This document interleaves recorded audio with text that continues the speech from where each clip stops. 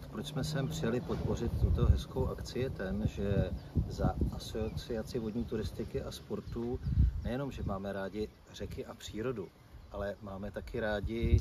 nespoutanou a divokou řeku, což když vezmeme Labe tady v tomto úseku z Děčína do Bad Šandau, tak se jedná o řeku, která vlastně nemá v tuto chvíli žádný jez a je, dalo by se říct, tou původní přírodou, i když nějaké regulace už tady proběhly,